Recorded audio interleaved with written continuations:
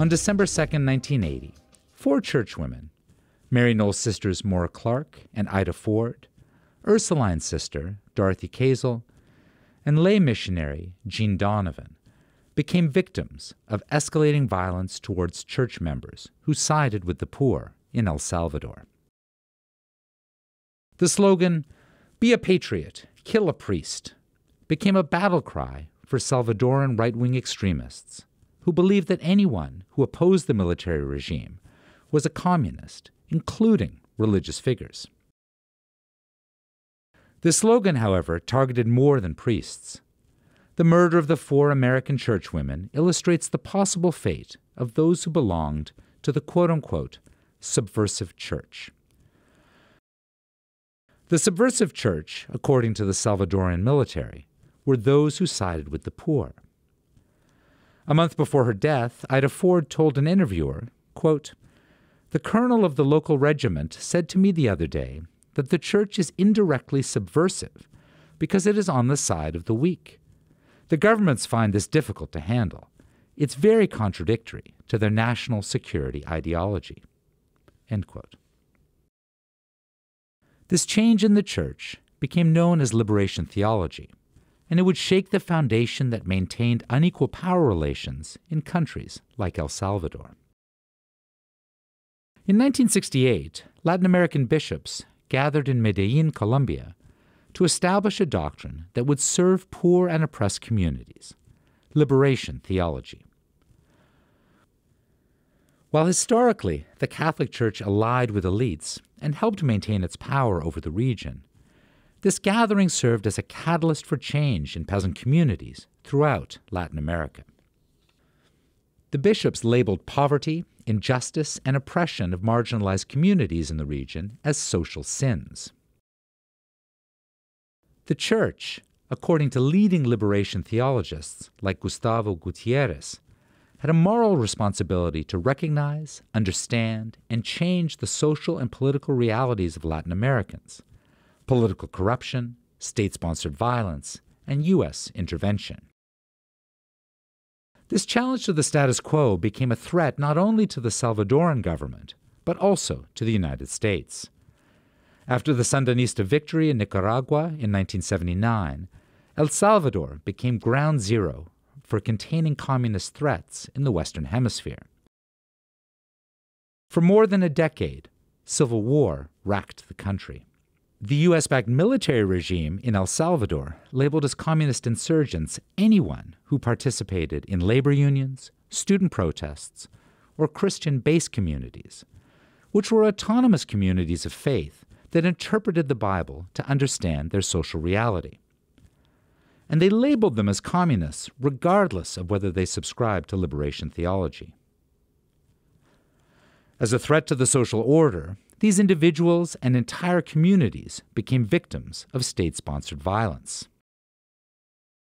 Before their murder, Clarke, Ford, Kazel, and Donovan became witnesses to the violent repression against Salvadoran peasants and workers. While their initial mission was to evangelize and teach Salvadorans how to be better Catholics, their time in El Salvador and elsewhere in Latin America for Clarke and Ford led them to see their work as accompaniment, the liberation theology model of solidarity that involves living with, supporting, and following the lead of marginalized communities. Following the example of Archbishop Oscar Romero, who was assassinated by the Salvadoran military for speaking up for marginalized communities, Clarke, Donovan, Ford, and Kazel worked to, quote, address the cause of the poor as well as their needs. Their dedication to the people kept them in El Salvador, despite the looming threats that they too could become victims of violence. On October 3, 1980, Kazel explained to a friend that despite the danger of repression, she would stay in El Salvador. Quote, we wouldn't want to just run out on the people. End quote. Similarly, Donovan wrote, quote, Several times I have decided to leave El Salvador. I almost could, except for the children, the poor, bruised victims of this insanity. Who would care for them? Whose heart would be so staunch as to favor the reasonable thing in a sea of their tears and helplessness? Not mine, dear friend, not mine. As Maryknoll nuns, Clarke and Ford believed their obligation to denounce injustices in society was far greater than the fear of persecution. They believed in the words of Archbishop Romero when he said, quote, Christ invites us not to fear persecution, because, believe me, brothers and sisters, the one who is committed to the poor must run the same fate as the poor. And in El Salvador, we know what that fate of the poor signifies to disappear, be tortured, to be held captive, and to be found dead. On December 2, 1980, Clarke and Ford returned to El Salvador from a regional Maryknoll meeting in Nicaragua. Picked up at the airport by Kazel and Donovan, the women faced an incredibly brutal fate.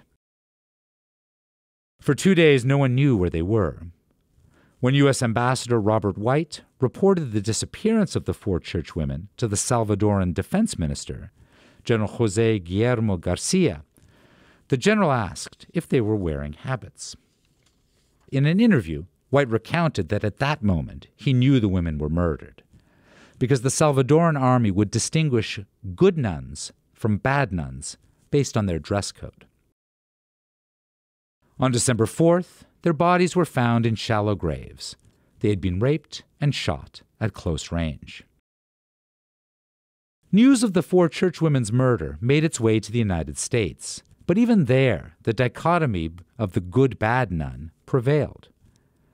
Because Clarke, Donovan, Ford, and Kazel worked with refugees and poor communities in El Salvador, both the Salvadoran and U.S. governments saw them as subversive. President Jimmy Carter suspended aid to El Salvador because of the murders, but the new Reagan administration publicly called it a mistake. Reagan's ambassador to the United Nations, Jeane Kirkpatrick, questioned the nuns' motives and believed that the Salvadoran army was not responsible for their murder. She claimed, quote, the nuns were not just nuns, they were political activists on behalf of the Frente, that is, the Salvadoran guerrillas. The murder of the four churchwomen became symbolic of resistance, but also of misguidedness.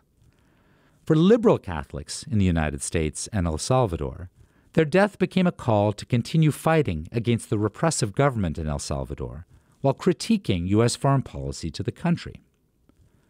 On the other hand, for conservative Catholics, the murders made sense. Working with and under communism would eventually lead to human rights violations. In 1984, five Salvadoran National Guardsmen were convicted for the murder of the four churchwomen. More than 30 years later, the two highest ranking military officials at the time were deported from the United States back to El Salvador after linking them to human rights violations. Yet they have not stood trial in El Salvador for any of their actions during the war, including the events of December 2, 1980. The recent conviction by Spanish courts of a Salvadoran military officer responsible for the death of six Jesuit priests, their housekeeper, and her daughter, is a promising sign that legal repercussions might still be coming for those responsible for the 1980 killings. But much work still needs to be done. The current Salvadoran government has taken steps to impede the investigation of the 1981 El Mozote massacre, despite the divisiveness that their murders created in the U.S. and El Salvador. The four churchwomen are still remembered for their work in Chalatenango and La Libertad, the communities in which they served in El Salvador. Salvadorans have painted murals of them across the country, and each year, in Chalatenango, a mass is dedicated to the churchwomen.